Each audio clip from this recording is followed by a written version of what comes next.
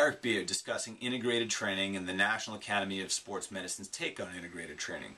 We've gone through a basic introduction of the three levels of the OPT model and the five phases. We've discussed the seven components to a workout, and there are two that we're going to focus on in this video, and the first of which is going to be speed, agility, and quickness training. This is an optional form of training for many health and fitness enthusiasts. It's critical for athletes. But for someone who's just looking to look better, feel better, we might need to incorporate it in a way for them to have some fun and to burn some calories in a different environment. Plus, most people don't like to be lashed to a treadmill and exercise bike. They like to move a little freer. So this is a good way to build that in. Speed of just speed is basically just thought of as moving straight ahead as fast as possible. Uh, agility is typically lateral change of direction oftentimes, although it could be linear change of direction, could be transverse or multiplanar change of direction. And quickness is reaction to external stimulus. We're going to progressively use this type of training, whether it's using a speed ladder, an agility ball, uh, working on sprinting or running mechanics, or agility drills, quickness or reaction drills that matches someone's abilities. So we have a three-tiered approach, stabilization, strength, and power for each of these types of training. And I caution you just to use them based on your client's levels and current abilities in relationship to their goal. It's a great way to burn some calories and have fun. For athletes, it's a mandatory component of training. Just use it safely and responsibly, but have some fun because it can be quite valuable. We're going to spend most of this video talking about resistance training. We've mentioned that NASM has five different phases within the OPT model that, that it uses. The first of which is going to be stabilization endurance training. It's the first phase of training. It's housed in the stabilization block of the OPT model. There's a specific set of acute variables that we're going to use here. Markedly, the 12 to 20 repetitions that are going to be followed anywhere between two to three sets in a very slow tempo. The eccentric lengthening is going to be about four seconds. The isometric hold is going to be about two seconds. And concentric shortening is going to be about one second. The key to this phase is that we're training in an unstable environment, specifically a controlled unstable environment. For people who have been sedentary and have muscular imbalances, they don't take in information and process it very well. So we want to add some perturbations that they now, their proprioceptors are forced to take in more information. The communication must come up to their brain and they must respond with the appropriate muscular actions. So training in a controlled, unstable environment can help to wake up these dormant receptors that we've seen. It can get the joint stabilizers and core stabilizers to start to fire again to prepare them for real-life situations, as well as for the other types of training that they're going to experience throughout the rest of the OPT model. You can use any variety of equipment. We just want them to move in a slow, controlled manner, and we want to develop endurance of the stabilizers over time with the appropriate acute variables. In the strength level, there are three phases, phases 2, 3, and 4. The first phase is strength endurance training.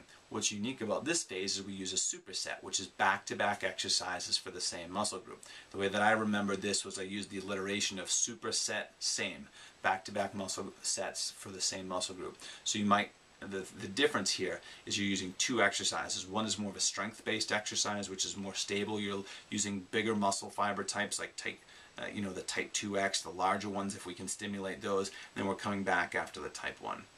This might be a barbell bench press followed by a hands on the ball push-up. We're working with the entire muscle fiber continuum. Think about the title, strength endurance. We're developing strength endurance. We're also starting to build bone density. Um, we're starting to develop that uh, the ligamentous connections within the bones. We're starting to develop the musculotendinous junction. So we're getting all aspects of the kinetic chain here. We're getting ready to deal with the volume intensity, the upcoming phases in the OPT model. That phase number two is a wonderful way to train. You can get a tremendous amount of work done in a short period of time. Phases 1 and 2 are the most commonly used in the OPT model regardless of goal. Phase number 3 is more of an optional goal and it's hypertrophy and it's just like it sounds. If you want to develop skeletal muscle fiber, these protocols will be helpful for that. Typically using traditional weightlifting approaches, barbells, dumbbells, machines, we're increasing the volume of work that's being done in lower periods of rest. We're also going to want to increase our calories during this phase of training by about 10% if we're going to be trying to build muscle.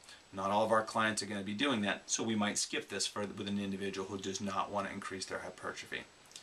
Next is phase number four, and that's maximal strength training. Another optional phase, important for athletes but not necessarily the average gym goer who wants to look better or feel better. This is more power lifter type training, multi-joint exercises, barbell, dumbbell, kettlebells, lifting as heavy weight as possible, stimulating those type 2X muscle fibers, moving as much weight as you can from A to B, using about 85 to 100% of our near our uh, one rep max in every lift. We're not doing more than five repetitions in this phase of training.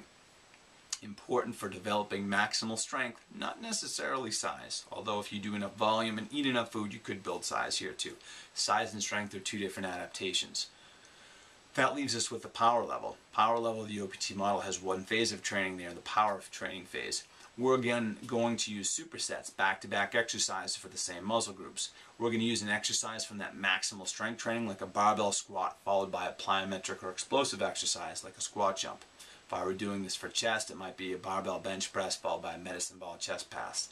The thought process here is we know that lifting a heavy weight slowly or a lightweight explosively will both develop the adaptation of power or improving rate of force production. So we're going to do both at the same time by a superset.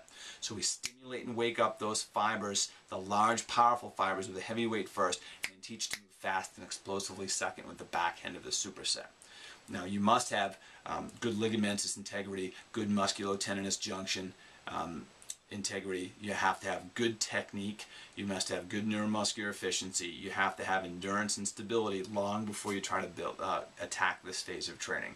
You can get wonderful benefits from it, but if we jump into it too early, it's just another injury waiting to happen. Phase 5 is one that can be used with the average gym goer. Just develop your base in 1 and 2 before you jump up to 5. So the five, five phases of training the OPT model are just using what we know works based on the available research. It doesn't mean it's the only phases that work. It doesn't mean it's the only combination of equipment and adaptations that's uh, that's going to deliver results, but we know what's out there, and this is the basic recipe that fits based on your own experiences, the availability of your equipment and your client in front of you, you might manipulate these just slightly. But the acute variables are basically the nuts and bolts to what's going to get you where you want to go with your clients. The key is that we adjust them subtly and progressively to keep them moving forward. Just like in school, you always study math, whether it's addition, subtraction, multiplication, division, long division, calculus, geometry in there somewhere, you always keep studying math. So in the OPT model, you just want to systematically and progressively move up. If someone has not learned how to do subtraction, do not ask them to do long division. We're looking for that progressive approach.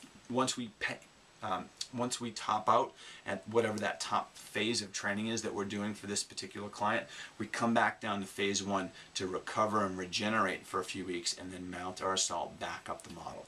There's endless ways to creatively program this together. This is simply the blueprint or the template that you have to work with from there. And the creativity and the types of other training that you can put into it is really endless. That leaves us basically with the cool down and a wrap up, which we'll come back on for the next video. I'm Eric Beard. Thanks for watching.